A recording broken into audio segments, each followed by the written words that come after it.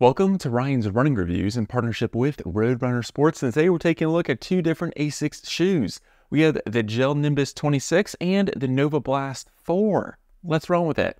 Before we get started, I do want to say these shoes were provided to me by Road Runner Sports. However, no one had a chance to preview this video and this file synopsis is my own. I'd also like to say please leave a like on the video and consider subscribing. Here we go. Now, the reason we're taking a look at these two shoes in particular is they both represent some of ASICS' thickest and most popular neutral daily trainers. Yes, you have the Superblast, but that's kind of in its own category as it uses a completely different kind of midsole foam. While here on the Nimbus and the Novablast, they both use FlyteFoam Blast Plus Eco. And while that may seem kind of similar on paper, I will say these two shoes provide completely different experiences, and I'm excited to talk about it. The Nimbus has 42 millimeters in the heel with 34 in the forefoot, for an 8 millimeter drop, while the Novablast is pretty much the same with 41.5 millimeters in the heel and 33.5 in the forefoot for that same 8 millimeter drop. So pretty much they're identical with regard to stack height, with at least on paper, the Nimbus having half a millimeter more.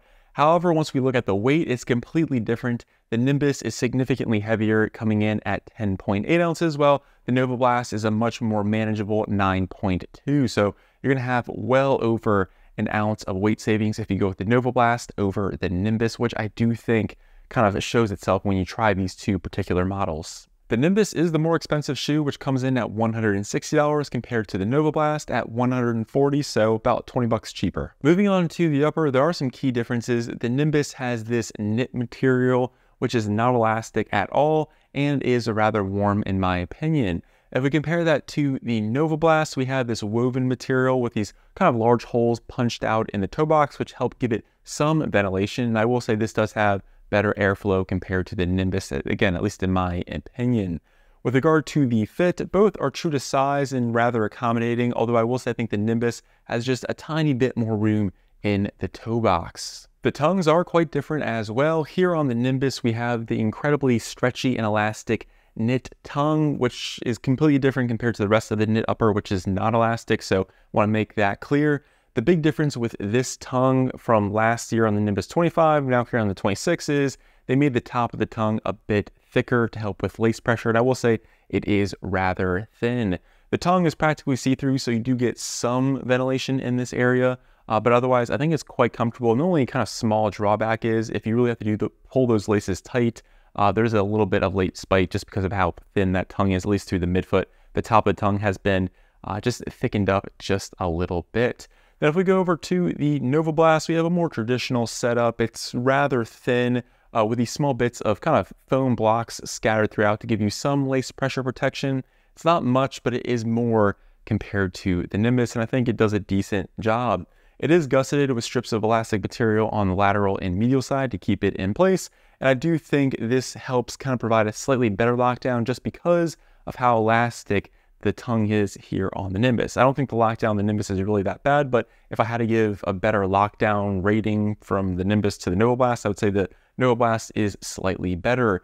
We move towards the back part of the shoe. We have about the same amount of padding. It's a moderate amount, I think does a solid job. No major complaints or heel lift or anything like that. And then the heel counter itself uh, is relatively flexible, maybe a little bit more flexible here on the Novablast. Otherwise, I was really happy with the lockdown. Again, slight edge to the Novablast just because there's not much, if any, elastic materials here uh, compared to, again, that very elastic tongue here on the Nimbus. And now for the midsoles, because on paper they should be identical, and I will say right now they are not. They have relatively the same amount of stack height, the same heel to toe drop, and they're both FlyteFoam Blast Plus Eco. So what's the key difference? Well, the first thing is the Nimbus has a slight trick up its sleeve with that pure gel technology, basically a small bit of gel directly underneath your heel. You cannot see it from the outside of the shoe. It's an internal structure. I'll put a picture on the screen so you can see exactly what I'm talking about.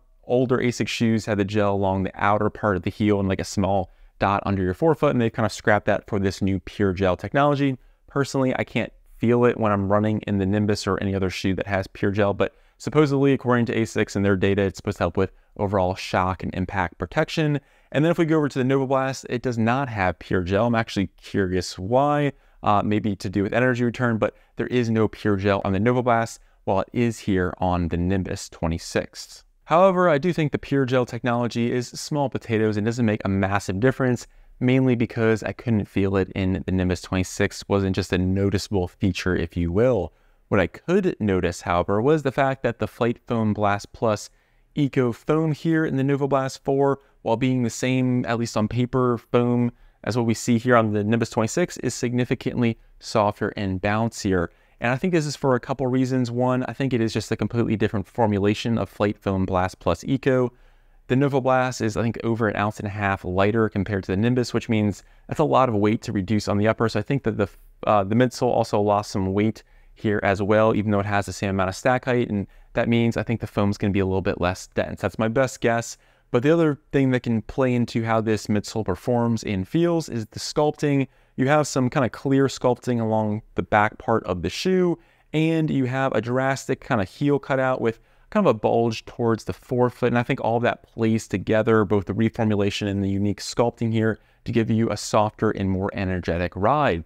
Now, I will say I think the Nimbus 26 uh, is going to be more stable, feels a bit more substantial through the forefoot, uh, but just doesn't have as much squish and pop compared to the Novablast 4. So if you're someone who likes uh, a lot of midsole underfoot or needs a lot of cushioning, but wants some stability without going to something like the Kayano, I think the Nimbus is going to be a better option compared to the Novablast.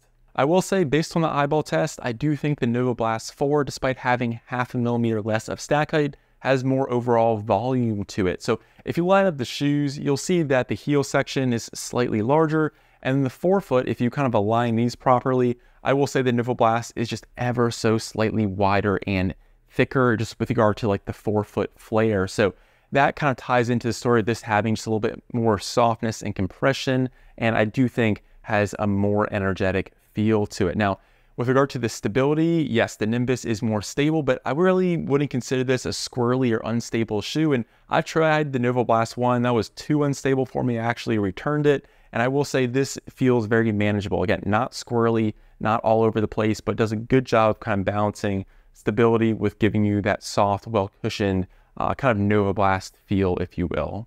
For me personally, I do prefer the Novablast 4. It is significantly lighter, about an ounce and a half lighter to be exact, and just feels like a more overall versatile daily trainer as well, handling those faster paced runs much better compared to the Nimbus, which I think falls short in that area. And of course, the midsole foam here is significantly softer and more lively.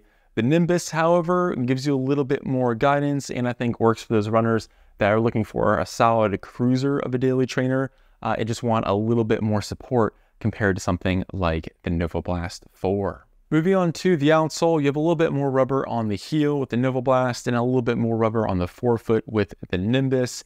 I will say the Nimbus does have ASICS' new ASICS hybrid rubber grip compound, which is supposed to be a little bit more durable and grippy. So just keep that in mind compared to the unbranded rubber we see on Novablast. Personally, didn't really notice much of a difference and they worked quite well for me. Didn't really hurt me and didn't really kind of impress me in any way. But um, yeah, just wanted to kind of point that out. So let me know down in the comments which ASICS Max Cushion Neutral Daily Trainer are you going with? You already know I'm going with the Novablast 4, but I would love to hear from you. Well, I'm Ryan from Ryan's Running Reviews, and I'll catch you guys on the next one. Thanks.